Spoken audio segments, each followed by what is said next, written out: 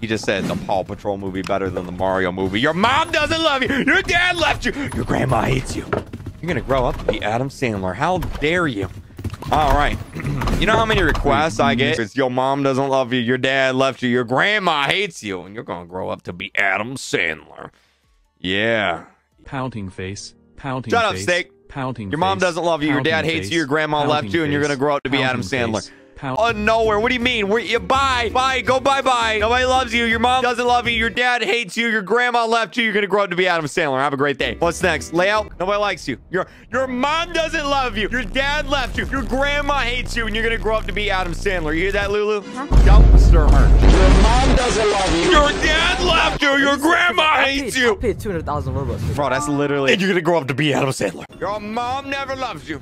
Your dad left you. Your grandma hates you. And you're gonna grow up to be Adam Sandler.